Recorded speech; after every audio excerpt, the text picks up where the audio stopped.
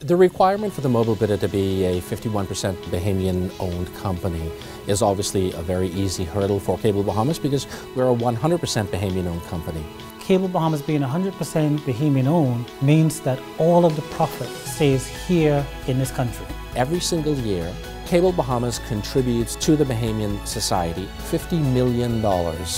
All profits stay in the Bahamas and grow this Bahamian economy. We are ready. Turn us on.